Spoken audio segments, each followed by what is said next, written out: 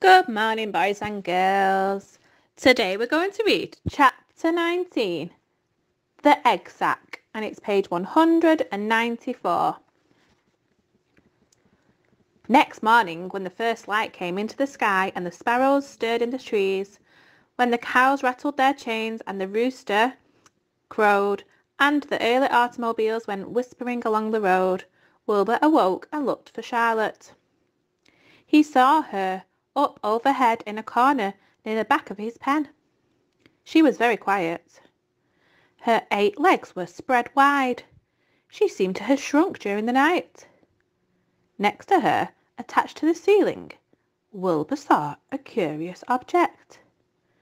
It was sort of a sack or cocoon.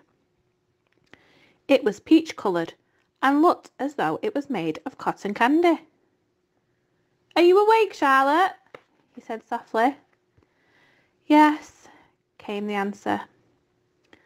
What is that nifty little thing? Did you make it?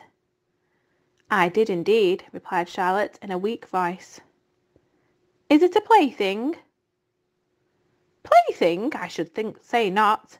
It is my egg my magnum opus. I don't know what a magnum opus is, said Wilbur. That's Latin, explained Charlotte. It means great work. This egg sac is my great work, the finest thing I have ever made. What's inside it? asked Wilbur. Eggs. Five hundred and fourteen of them, she replied. Five hundred and fourteen? said Wilbur. You're kidding. No, I'm not. I counted them. I got started counting, so I kept on, just to keep my mind occupied. It's a perfectly beautiful egg sac, said Wilbur, feeling as happy as though he had constructed it himself. Yes, it is pretty, replied Charlotte, patting the sack with her two front legs. Anyway, I can guarantee that it is strong. It's made out of the toughest material I have. It is also waterproof. The eggs are inside and will be warm and dry.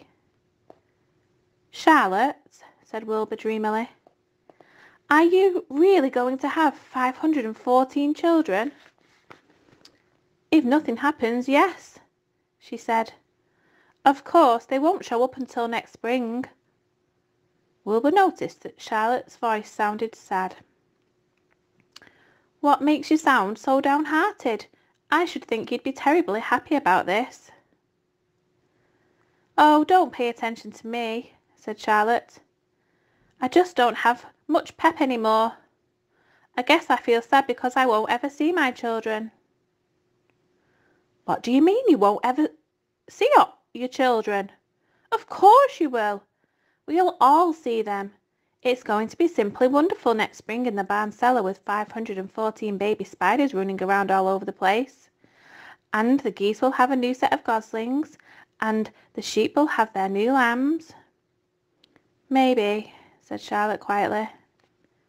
However, I have a feeling I'm not going to see the results of last night's efforts. I don't feel good at all. I think I'm languishing, to tell you the truth. Wilbur didn't understand the word language, and he hated to bother Charlotte by asking her to explain, but he was so worried he felt he had to ask. What does languishing mean? It means I'm slowing up, feeling my age. I'm not young anymore, Wilbur. But I don't want you to worry about me. This is your big day today. Look at my web. Doesn't it show up well with the dew on it? Charlotte's web never looked more beautiful than it looked this morning. Each end held dozens of bright drops of early morning dew. The light from the east struck it and made it all plain and clear. It was a perfect piece of designing and building. In another hour or two, a steady stream of people would pass by admiring it and reading it and looking at Wilbur and marvelling at the miracle. As Wilbur was studying the web, a pair of whiskers and a sharp face appeared. Slowly Templeton dragged himself across the pen and threw himself down in a corner. I'm back, he said in a husky voice. What a night.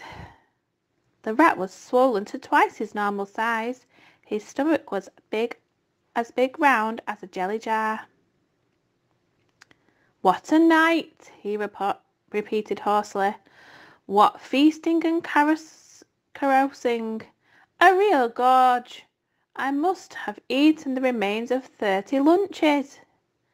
Never have I seen such leavings, and everything well ripened and seasoned with the passage of time and the heat of the day. Oh, it was rich, my friends, rich.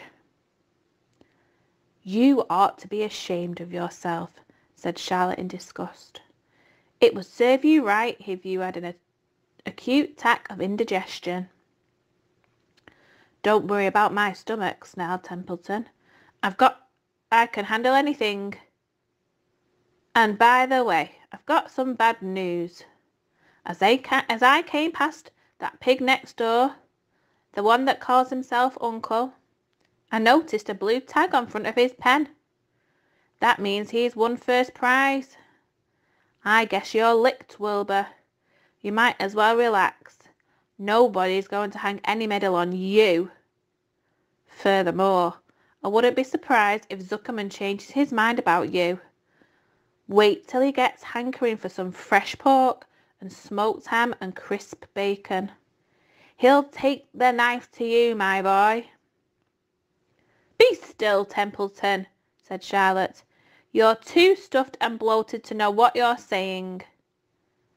Don't pay any attention to him, Wilbur. Okay, I'll read the rest tomorrow. So, you got some questions to answer on the next slide.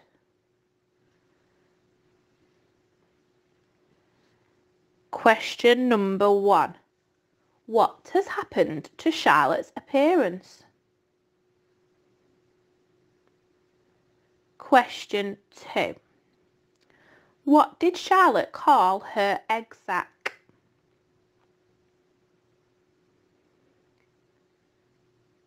Question three. What did the Latin word mean?